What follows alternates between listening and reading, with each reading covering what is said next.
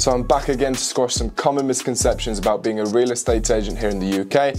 And this time I'll be running through some numbers and revealing my January paycheck as genuinely it's something that I used to love watching on YouTube and it's kind of inspired me to do what I'm doing now. I'm also a big believer in transparency and to be honest I don't really understand why people are so private and so sensitive about money and about their personal finances. So if you're one of those people, get, out. But before we get into it, if you could hit the like button to let me know that this is the sort of content you want to be watching, I'd be very grateful and I'll continue to post more of the same. So make sure you subscribe and make sure to hit the notification bell so that you don't miss out. So a bit of background very quickly before we jump in. I started as a real estate agent last summer in July whilst I was still 17.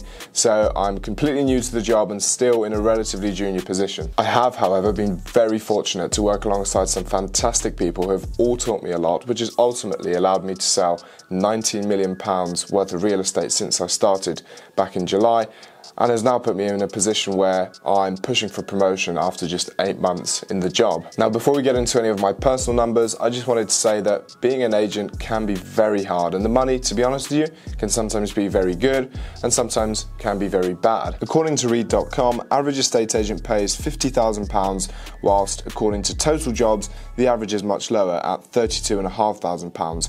Now, if you're working in London, this could be higher, but the average seems about right. The truth is that the pay varies massively massively depending on who you work for, where you work, and the commission offer that you have. I would say that pay in the industry can vary from £20,000 to £200,000, and that's coming from someone who's met some people in the industry that earn a lot of money. So there are anomalies out there, but at the same time, there are people making money on the lower scale, so it's not always as glamorous as people think, but it can be. Now, if you're running your own estate agency, this figure could be in the millions, um, but that's just like with any other business. Now, for the part that you've all been waiting for, let's run through my January paycheck. Quick disclaimer before we do I'm 18 and in a junior position, so whilst this isn't crazy money, I think it's a good paycheck for someone who's just started, and I'm showing this for educational purposes only and to bring a bit of transparency into the industry. Thanks. So here it is. Let me break it down to you.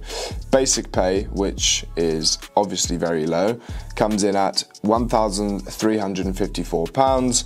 Um, then I have a small cash award of £14. Huh, really makes a difference to the paycheck. Then there's some Medicash stuff, which you don't need to know about, I guess. Um, and then obviously the bigger part of the pay, which is the commission at £4,313. So that brings the total pay to £5,681.17, which again isn't too bad for an 18 year old at the moment. Now, assuming my pay was the same for the rest of the year, I'd make £68,000. But the truth is, the pay fluctuates massively. Sometimes it's better, sometimes it's worse.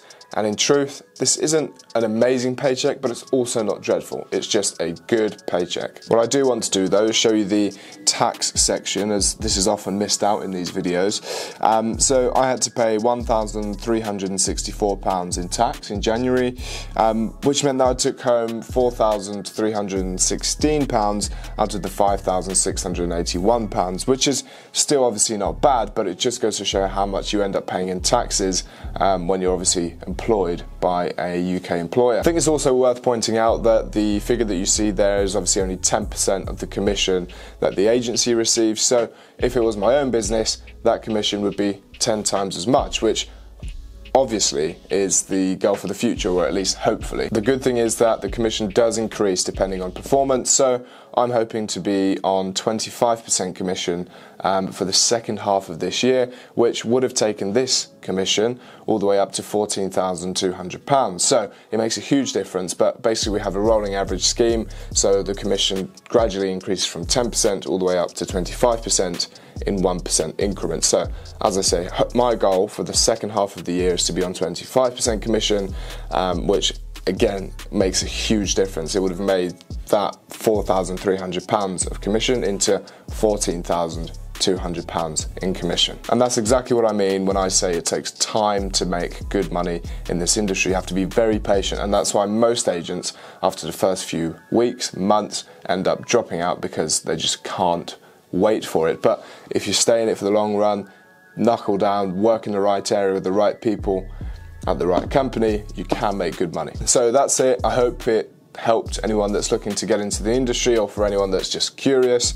Don't forget to smash the like button, subscribe. I genuinely mean that. I think 90% of you are not subscribed to the channel. So go down there, hit that red button. I'm aiming for a thousand. I'll see you next time.